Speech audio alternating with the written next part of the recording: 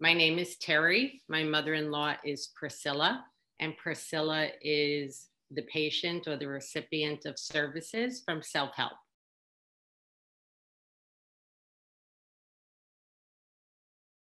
Before we were with this nursing home transition and diversion program and with Selfhelp, my mother in law was not in a good way. She had had Alzheimer's for about 10 years already.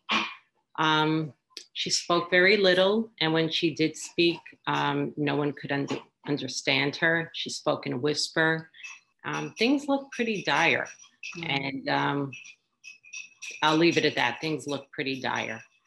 And the next thing I know, we have this support from Selfhelp. You got us five wonderful aides. We have around the clock care, and every day someone shows up ready to go, just refreshed, happy to see Priscilla, happy to work with Priscilla.